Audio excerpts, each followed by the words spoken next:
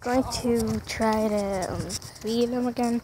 The last video was an epic fail. And looks like skeleton is ready to eat. That's why I named this spider. It's um wolf spider.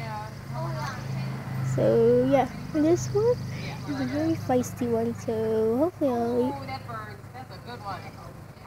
eat. And this ant. Okay, I'll just not waste it. Here you go, guys.